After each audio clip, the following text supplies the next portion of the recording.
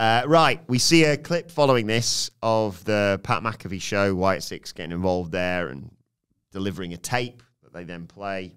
Uh, and this was the bit I just thought was amazing. Yeah. Um, Erick Rowan interviewed effectively by Uncle Howdy off screen. He asked how he's been, and oh boy, this is a tough watch. Uh, Rowan says the last few years have been very hard. He used to have a family; they were unstoppable. They always had each other's backs, and then one day the whole world changed. He lost a brother. The person in this world who believed in him more than anyone, gone. It knocked him on his ass.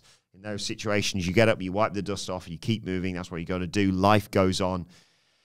And then just when he thought he had everything going, his other brother was gone too. He starts crying here. Uh, he had no more family, no more will. He fell down a well. He couldn't get out. He didn't want to. Why? Why would he want to? He felt, felt catatonic, numb to everything. Who's going to miss him? He's just Rowan. Oh, it was heartbreaking. That really, really well delivered. Um, he gets thrown the, the goat mask um, uh, and asks, How's that make him feel? And you get clips of him from the Wyatt family, of course. He says the mask gives him hope when he was at his lowest uh, and he reached out, he got pulled up. Uh, he saw the hand, he accepted it. He needed help. He had a purpose to help those like himself. Um, and the mask reminds him of that beacon of hope. They're going to take the broken hearts and make some beautiful art. This was like staggering, really. I mean, is this working? It's the best performance of something that's hard not for me. I can recall off the top of my head, like Bo Dallas has been great in these sit downs. These sit downs are, in fact, yes, I know in the live context they are doing, you know, effects, shall we say. And he can, your own head canon determines what's going on with these effects, and everyone's going to argue or discuss or debate or whatever. They have, in fact, tethered this to reality um, as sort of promised or at least fed through the media. Um, it's weird though. I mean, they, they go on massacres and you can't help but root for them. It's bizarre, but it's working. It's working like the usual. By now, right, trying to phrase this delicately, by now, the lifespan of such a thing, something laughable would have happened already. Yeah. We're nowhere near that yet. Um, this Rowan promo was so unbelievably great. Like, you kind of want him to terrorize people Yeah. and show him what he's got. What was so perfect about that line in particular, right, was the fans, I don't think, believe it, but you can believe that he believes it, and he was at that lowest ebb. Because what's happened is that there's been a like the evolution of Erick Rowan slash Erick Redbeard, wrestler, and the perception of the wrestler.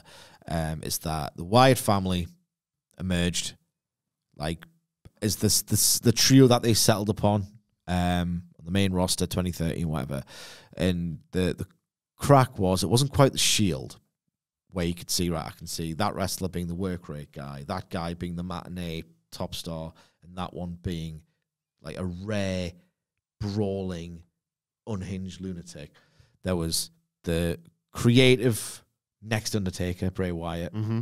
there was that best big man in wrestling in Luke Harper, and then there was Rowan. Yeah. Like people, yeah, I've, I've like that battleground match against the Usos was incredible.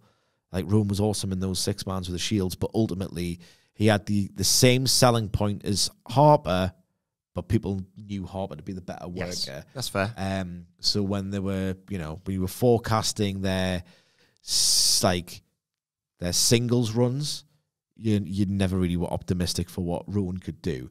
And that when he said that's just Rowan, like you know, the worst one's the one that's left. Sort of that was his headspace.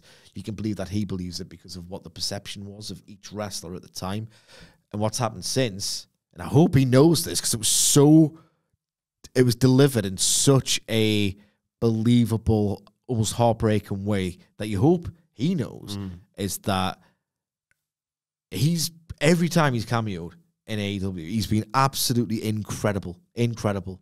Um, and it's not just a like a pity thing No, no. Rowan. It's that he has earned like well before they are really trying to make you sympathize with him. He's earned the fact that oh, you know what, people overlooked him at the time. He's great, and everyone hopes he's doing well. So this is a genuinely like fair play to him as well for doing this. I mean, it must have been incredibly difficult to confront not only this profound twice over grief, but reckoning with his own sort of life and career all in one promo, and if it if it's ever meant anything, I hope he knows that it has. Mm. Yeah, absolutely. Yeah, really. Like, it's always going to be a weird dynamic. This with Bo and, and Erick Rowan in, with obviously knowing everything that's happened. But my God, if you if you're not rooting for Rowan after this, I don't know what what will make you. Yeah, Amazing, amazing. Best luck to him.